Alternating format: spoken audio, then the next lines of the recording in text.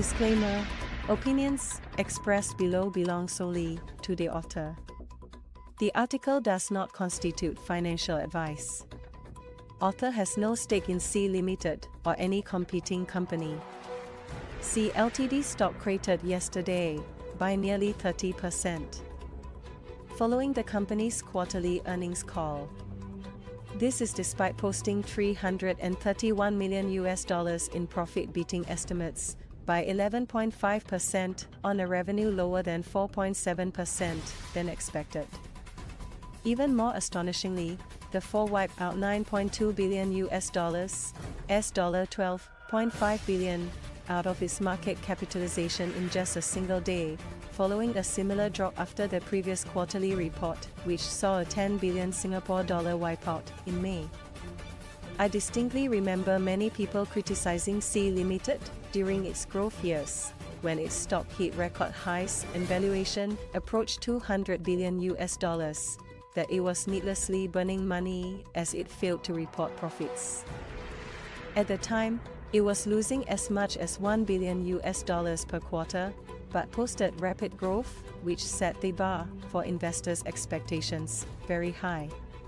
Today, paradoxically, as it has finally started making money, having collected over 1 Singapore dollar 1 billion in profits in over the past 3 quarters, its value continues to drop. In fact, not even beating earnings expectations could shield it from investor unhappiness. How is that possible?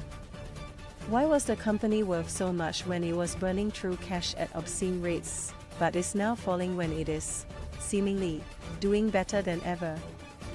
The truth is that shareholders make most of their money from growing valuation, not profits. Even if the company wanted to pay dividends, the few hundred million it makes per quarter wouldn't offer much room to pay a meaningful amount of money to all of its stock owners. Don't get me wrong, dividends are nice to receive, but young companies are primarily about growth. If you buy in at the right time, you could multiply your investment by 10 to 20 times or more within just a few years. No amount in dividend payouts can trump that assuming they would even be on the table.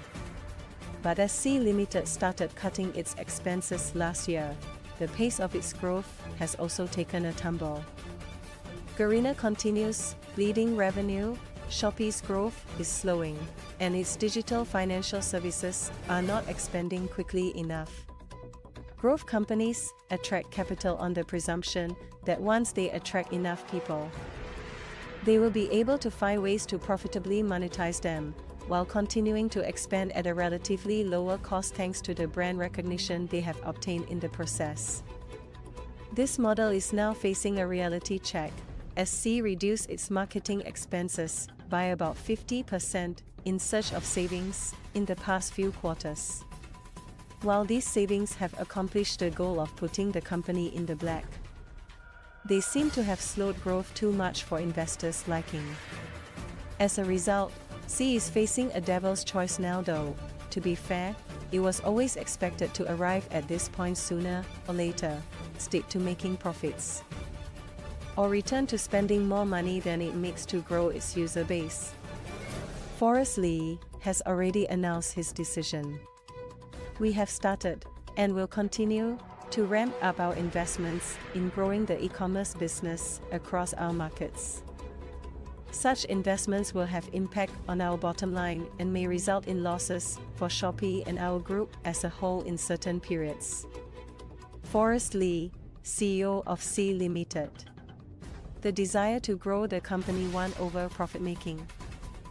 In the face of clear investor backlash exhibited by the massive sell off of the stock yesterday, as a result, we can expect Sea to return to burning money in the coming quarters.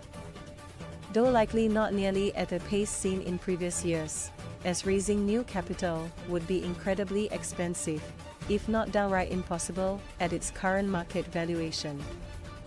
With close to 8 billion US dollars in the bank, the company can afford to lose a billion or two per year, but not more, giving it a runway of 3 to 4 years before it may need to seek further external investment.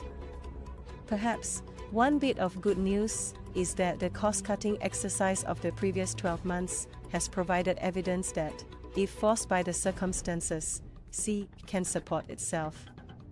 At the same time, however, it has also established the outer bands of how it can perform in current global economic circumstances, limited, on one hand, by much reduced growth when profitable, and access to affordable financing on the other. This, perhaps, explains best the reasons for yesterday's sell off as at its reported growth rates the chances that it could multiply in value in the next few years appear to be lower than even a year or two ago, in spite of current profitability. Cash, as it turns out, isn't always king.